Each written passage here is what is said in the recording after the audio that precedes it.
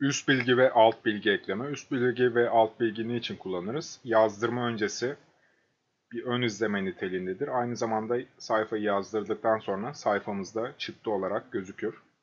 Şimdi ekle diyorum.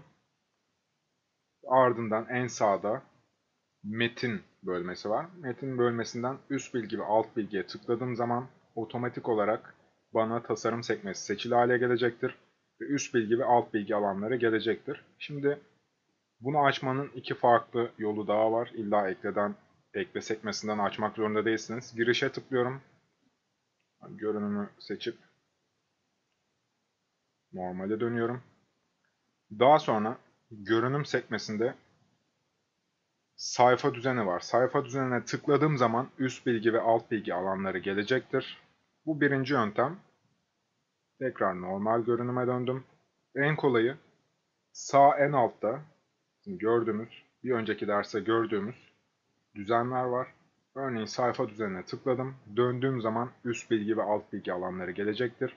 Üst bilgiye tıkladığım zaman tasarım sekmesi görüntülenecektir. Tasarım sekmesini seçiyorum ve buraya ilk olarak dosya adını seçip yerleştiriyorum. Şu an gözükmeyecektir dosya adı. Herhangi bir yere tıkladığım zaman dosya adımız gözükecektir. Üst bilgi ve alt bilgi ekleme zaten çalışma kitabımızın adı. Tıkladığım zaman tekrar kodu görüntülenir olacaktır. Şimdi sağ tarafa da ekleyelim.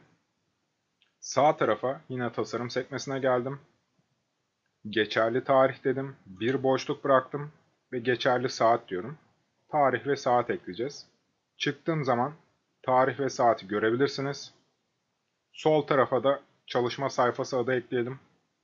Tekrar tasarım sekmesini seçtim. Ve sayfa adına tıklıyorum. Sayfa adı da sekme koduyla gösteriliyor. Herhangi bir yere tıkladığım zaman sayfa adını görebiliriz. Şu an sayfa adı sayfa 1. Bunu değiştirirsem üst bilgi ve alt bilgi ekleme diye değiştiriyorum. Otomatik olarak sayfa adım da değişecektir. Şimdi aşağı ineyim. Alt bilgi olarak da şöyle geldim. Sağ tarafa sayfa numaralarını ekleyelim. Tekrar tasarım sekmesini seçtim. Sayfa numarası ve sayfa sayısı dedim. Toplam sayfa ve sayfa sayısı. Ortasına da Alt GR tuşuna bastım ve büyüktür küçüktür işaretine bastığım zaman düz bir çizgi yazacaktır. Çizgi belirecektir.